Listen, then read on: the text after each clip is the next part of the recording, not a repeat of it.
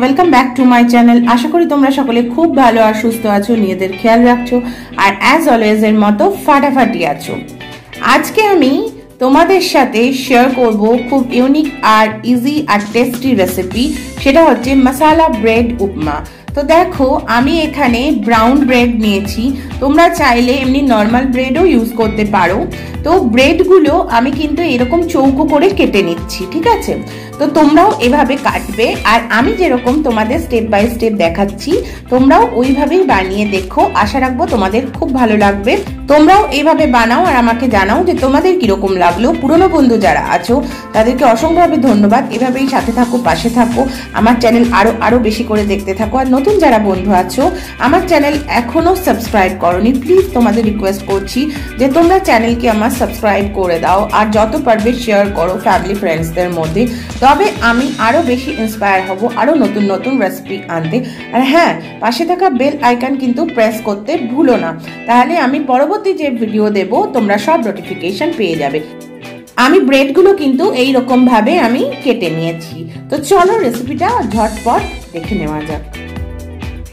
Bread মশলা উপমা করার জন্য প্রথমে আমি দেখো কড়াই বসিয়ে নিয়েছি আর একদম লো ফ্লেমে রেখেছি। এবারে আমি পরিমাণে রিফাইন অয়েল এর মধ্যে দিয়ে দিচ্ছি। দেখো তেলটা গরম হয়ে গেছে। এবার আমি এর মধ্যে দিয়ে দিচ্ছি একদম হাফ স্পুন গোটা সর্ষে। একটু নাড়াচাড়া করে নিচ্ছি। তেলটা গরম হয়ে গেছে আর ফোড়নও ফুটতে শুরু করে দিয়েছে। এবার আমি এর মধ্যে দিয়ে দিচ্ছি ওয়ান টেবিল স্পুন মাপের মটর ডাল। থাকছে ওয়ান টেবিল স্পুন মাপের ছোলার ডাল। আমি এগুলো একদম লো ফ্লেমে রেখে এগুলো একটু যতক্ষণ না একটু ভাজা ভাজা হবে, ততক্ষণ আমি এগুলো নাড়াচাড়া করতে থাকব।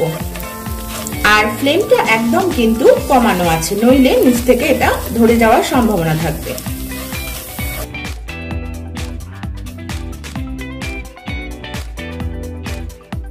দেখো, এটা বেশ খানিক্ষণ আমি একটু নাড়াচাড়া করছি। দেখো, অল্প অল্প এটা লাল হতে শুরু করে দিয়েছে। আমি এখানে দুটো মাঝারি আকারে পেঁয়াজকে আমি একদম কুচি কুচি করে নিয়েছি। সেই পেঁয়াজটা দেখো, আমি এর মধ্যে দিয়ে দিচ্ছি। খুব ভালো মতন করে একদম মিডিয়াম টু লো ফ্লেমে রেখে নাড়াচাড়া করে যেতে হবে।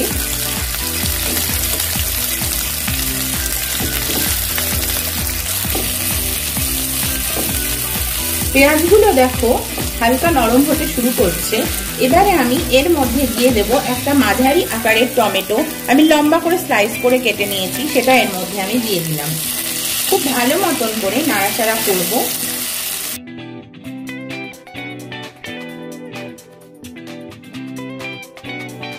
ভালো মতন এটা নাড়াচাড়া হয়ে গিয়েছে। এবার দেখো, এখানে আমি লঙ্কা নিয়ে নিয়েছি। বড় আকারের দুটো, সেটা আমি ছোট করে কেটে নিয়েছি, সেটা এর মধ্যে মিশিয়ে দিলাম। এবারও ভালো মতন করে আবার নাড়াচাড়া করে নিচ্ছি।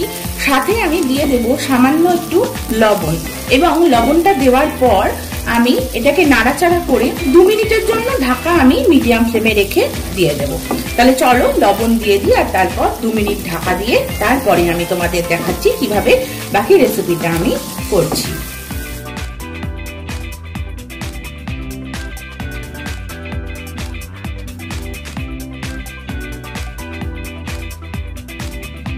ঠিক দু মিনিট হয়ে গিয়েছে, এবার আমি দেখো ঢাকাটাকে খুলে নিলাম।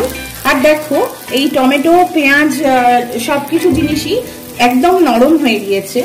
আমি তোমাদের বলে রাখি, এই দু মিনিট ঢাকার মধ্যে তোমরা পারলে একটুখানি হালকা করে জলের ছেটা দিয়ে দেবে, তাহলে কি হবে, নিচ থেকে ধরার সম্ভাবনাটা থাকবে না একদম।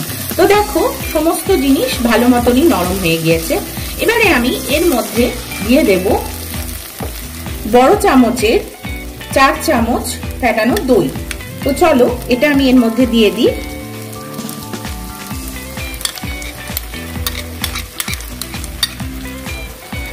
ভালো মতন করে এটা আমি মিক্স করে নিচ্ছি। আর ফ্লেমটা তোমাদের আবার বলে দিই, তোমরা কিন্তু দেখে শুনে ফ্লেমটাকে কমানো আর বাড়ানো করবে।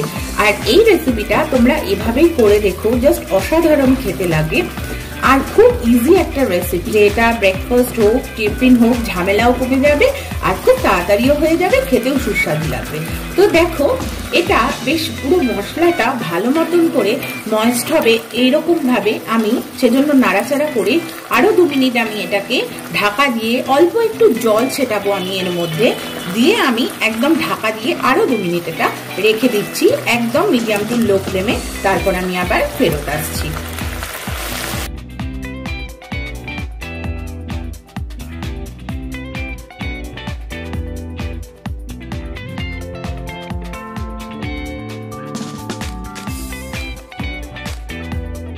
আমি এটা মিডিয়াম ফ্লেমে রেখেছিলাম, আর এবার আমি দু মিনিট পর ঢাকাটাকে খুলে নিচ্ছি। দেখো, ভালো মতন এটা সেদ্ধ হয়ে গেছে। এবার আমি একটু ভালোভাবে নাড়াচাড়া করে নিচ্ছি। সাথে আমি দিয়ে দিচ্ছি ওয়ান টেবিল স্পুন মাপে টমেটো কেচাপ।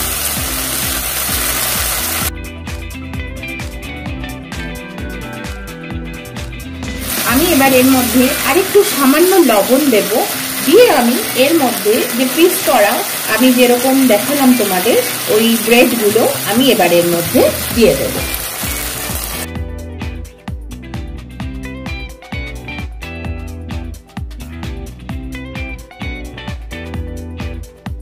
যে ব্রেডগুলো আমি যেভাবে কেটেছিলাম, সেই ব্রেডগুলো এর মধ্যে আমি মিশিয়ে দেব। তার আগে সামান্য পরিমাণে দিয়ে দেব ধনেপাতা কুচি।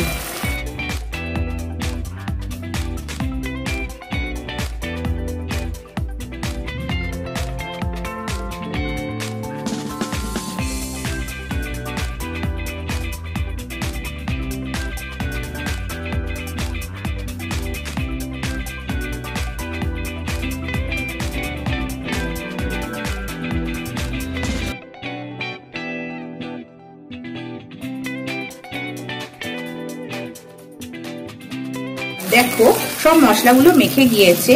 এবারে আমি এটাকে একটা প্লেটের মধ্যে তুলে নেব।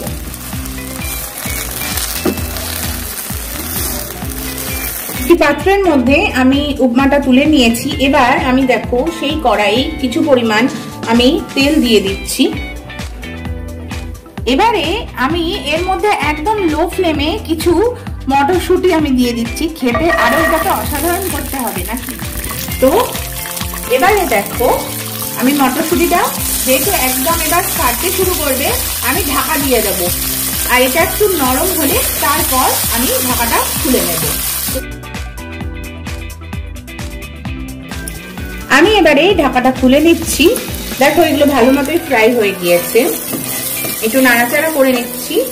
ভেজে রাখা যে উপমাটা আমি যেটা সরিয়ে রেখেছিলাম, সেটা আমি এর মধ্যে এবার দিয়ে দিচ্ছি।